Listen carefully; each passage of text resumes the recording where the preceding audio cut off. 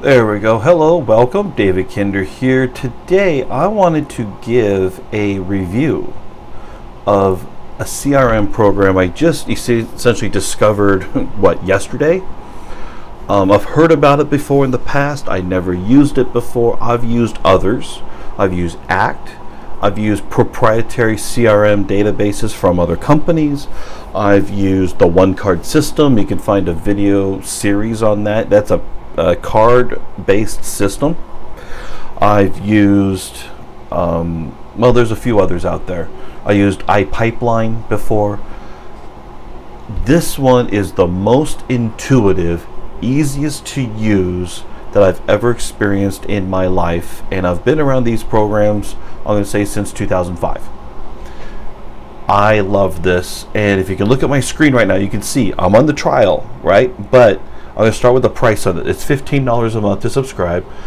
Um, I'm going to go through all this, but I'm going to put a link in the video description below where if you use my link to sign up for your own trial, you get two months free. Um, and of course, if you sign up, then I get a month of extra free service. So that's kind of what's in it for me. But at the same time, if you've ever felt frustrated with CRMs in the past, this is a breath of fresh air. This is so amazing. I'm going to give you a tour of what I've discovered out of this program. And first of all, let's talk about the cost. $15 a month to not necessarily automate. There's not necessarily a lot of automations in here, but it's definitely a great way to organize your work, to digitize everything. Once I started using this, I almost see no reason to use my paper planner to use paper files unless you have an open case currently, but you could always scan and upload, you know, do those things however you manage your open cases. I just uploaded a couple of things into this and I'm just noticing how nice this is to work with. So first of all, when you open it up, you're going to see this screen. And you have today's agenda, which is your calendar, and you've got your tasks that are due, uh, which is whatever you set up for the day. Now you can view a task report and view calendar so you can see more. So if I click view calendar, here's the whole week. Okay, I got whatever's on there. If I go back to workspace, tasks that are due, I can view all my other tasks. What do I got to get done? Going back to the workspace.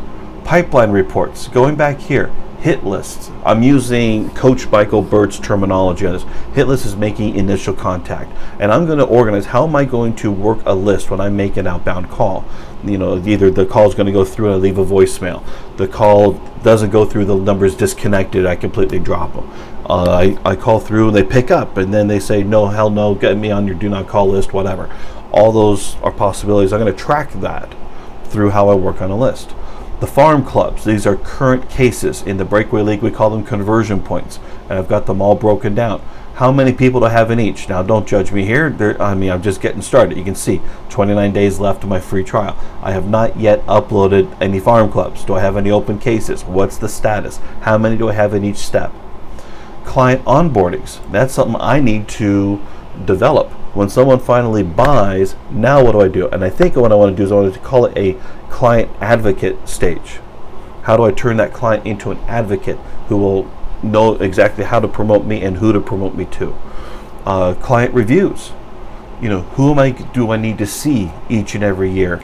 and when and what do we need to talk about what needs to get done what do i want to get talked about it's all right there that's beautiful now, activity report is everything that you've done in there and it's showing all your stuff, all the things that you've done in the program.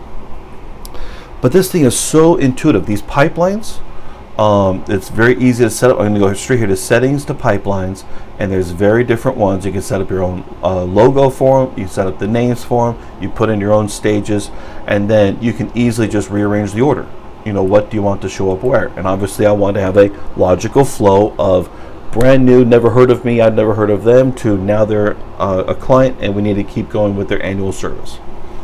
Okay, so that's the workspace. It was so easy to work with, it was amazing. Now, setting up a new contact. Now, within this, I customized a, few fields, uh, but you just type it out. Very simple. Name, spouse's name. By the way, I put the spouse in there so you can link other uh, clients together because you know just because you have one spouse you need another spouse get get them linked together so it's easy to go back and forth what's their email phone address website social security number obviously when they become a client What's their birth date? Gender, lead source, where do they come from? And you can put in whatever it is. Uh, lead source notes. The client type, I don't know what that means yet. That came from, a, um, from the uh, template. Financial goals. I put an RIA account name and number. What do they have with me or whatever? The custodian, what's their risk tolerance, tolerance notes, total assets, various retirement accounts. Uh, on the other side, retired, and this is what I put in. Are they retired? Yes, they're retired now, or no, but within the next one to five years. No, within the next six to ten years. No, we're ten more more years away. Uh, what type of investments? Employer retirement funds. All this stuff is right here. This is pretty good. And again, this is kind of the facts. Um, I work a lot with annuities and life insurance, so I want to make sure that when they become a client, I want the name of the annuity company, what's the contract, and the contract number. Is it qualified or non-qualified? Um, and if I'm using multiples, I want to have that information easily found here. So I know exactly where to go to get up-to-date information. I do not expect to get ever um, data downloads from the companies into here. If you want that, this isn't your program. Uh, but at least having an, uh, an index card, so to speak, of all the information, that's brilliant. And I'm glad to have that. Have the same thing for life insurance, up to five contracts. You know, what's the company name, contract number, type, you know, is it a term policy? Is it a whole life? Is it a 10 pay? Is it a 65 pay? Whatever it is. Um, and I also want to know the contract anniversaries.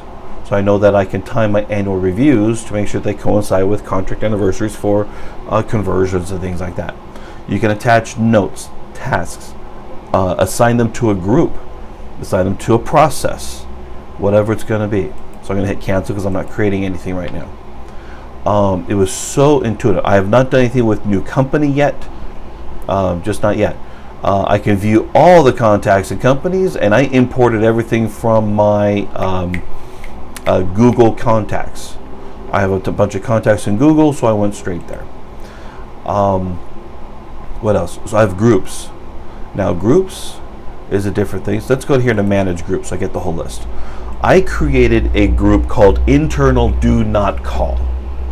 And the reason is because this way, if I'm always making my calls out from the CRM, if the if I've assigned a contact or a phone number to the internal do not call, do you think I'll be calling them again? No. That's my way. And by the way, everybody, if you don't have an internal do not call list, you should have an internal do not call. If somebody says never call me again, I'm not interested, no problem. I'll update my records immediately. Thank you for your time and you update them to include them in that group, and you'll never call them again. They're forever dropped.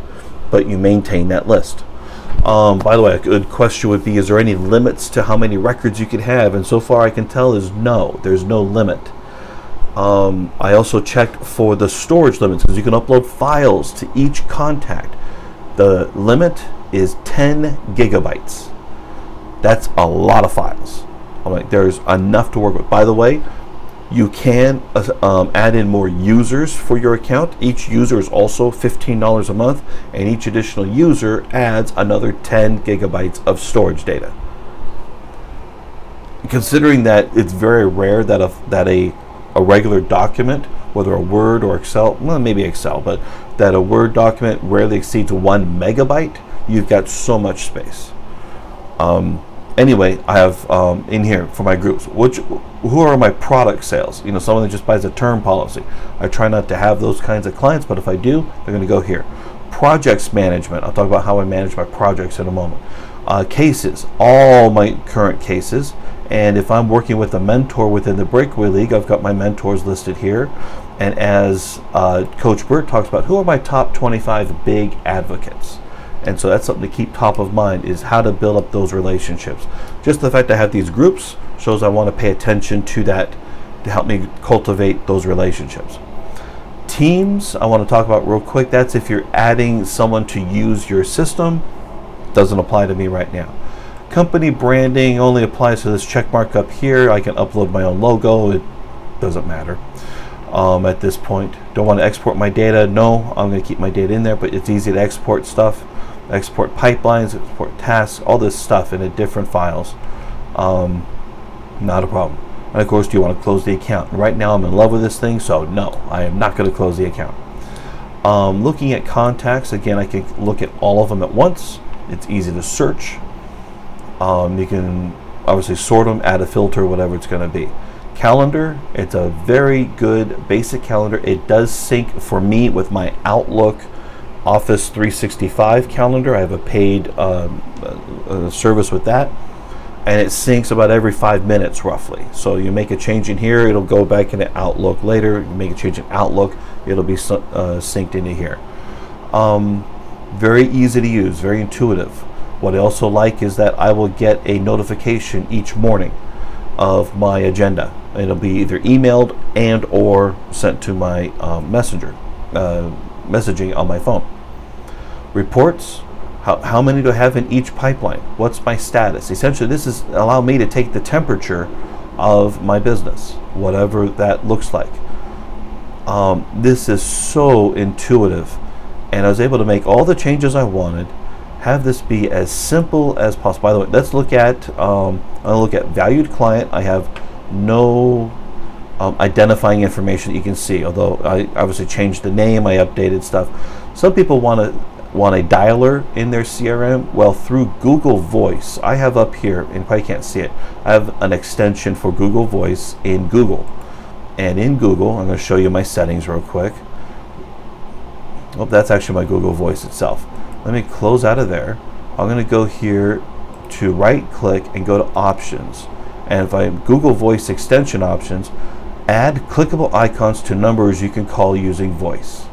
So I'm going to close that out now, you're going to see there's a phone number there. I can dial it by calling through Google Voice. So Google Voice with Chrome and I think Microsoft Edge because it's essentially built on Chrome.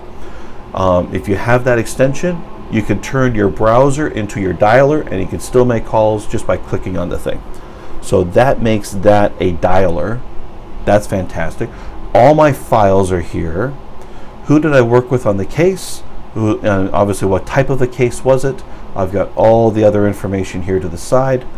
Um, anyway, and also I've got a thing for uh, my, the next client review scheduled essentially for December. Um, I added it just yesterday because I'm using the trial here. Um, anyway, what can I tell you about this except that it's very rare for me to find a CRM that helps adapt its way of working to the way I think. And this is fantastic at any price, let alone $15 a month. Now, for me, um, and being able to adjust everything, I think I had three pipeline reports before. I've got four now, and I still need to build these up to whatever I need them to, to do. But it's so intuitive, it's so easy to use. Um, I've gotten rid of most of my paper already. Believe me, I am sold on this and looking forward to really diving in more. Oh, I was going to talk about projects. I have a number of projects. And so one of them was a project of building a funnel, you know, social media funnels for marketing, advertising, things like that. Well, right now I can't focus on that, but I did want to make it a priority and make it into something. So I just created a contact. I called it Project Funnel Project. I attached it to a group of projects management. So I'm looking at my projects. It'll be one of my five projects I have. And I've got a bunch of files in there. Not sure when I'll get back to that, but it is a project I want to work on. Um, so if I go here to my groups, where are my groups at? Contacts, groups. If I go to manage groups, projects management, view my records, I have four. So I have something with these guys. I got this one. I got this one with another uh, producer, and I got this one uh, with another uh, situation. So I can go back to them and manage it, make my notes if I have an event that happens, just like anything else. But instead of a contact, I just want to call it the project of whatever it is. Um, is there anything else on this? Um, but I'm going to go. Oh, by the way, the um, the help section, I mean, you have a guide. The beginner's guide is very easy. I went through it in about roughly 30 minutes. And you kind of know what you're going to pay attention to, what you don't need to pay attention to. That's perfect. Um, every video was less than five minutes. Most of them were about three minutes. Uh, very simple to use. And I feel finally that I have a place that I can work with. Um, as far as using it on your phone, it's completely uh, adaptable to a smartphone, whether it's Apple or Android. I use Android. And I just put a shortcut to it for my um, for Google Chrome. So it goes straight there, and you know it's right there at, the top of the screen. So it's always with me no matter what. Um, I guess the downside is that I really I might miss having my paper planner only because I like the leather. That's kind of silly to say that, but you know it is what it is. The help part is there, and this is where I was looking for um, storage limits, file storage limits, and I want to want to prove this here. Um, by the way, contact storage, we don't place any strict limits on number of contacts and companies, so that's right there. File storage limits, let me pull that up real quick, because I want to prove it to you. Each user has 10 gigabytes of file upload storage space. That is amazing. And by the way, I remember using a CRM that I think was limited to 2 gigabytes. I mean, think about it. This little uh, USB thumb drive, I got this over 10 years ago. 10 years ago, this was probably $20. Today, probably more like 5 total. It doesn't cost a lot to have some storage, but you know, to be able to have 10 gigabytes available and for the type of files that we've got, that's fantastic. Um, but again, contact storage limits, I want to show you that. We recommend having less than 50,000 contacts. I don't think that'll be an issue.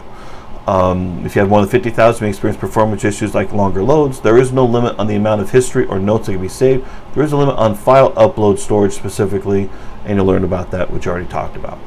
So, based on this, um, if you're looking for something far more intuitive, I'm going to use it along with my, my RIA has its own CRM. You have to use it. It's their compliance mechanisms. Um, but I'm going to use this as my operating base. This has been fantastic. And if you check it out, use my link in the description below. Um, you get two months free. I get a month of uh, credit whenever you decide to sign up. So that's fantastic. So I wanted to create this video. If you like it, you know, give it a thumbs up, subscribe to my YouTube channel, and of course, make it a great day.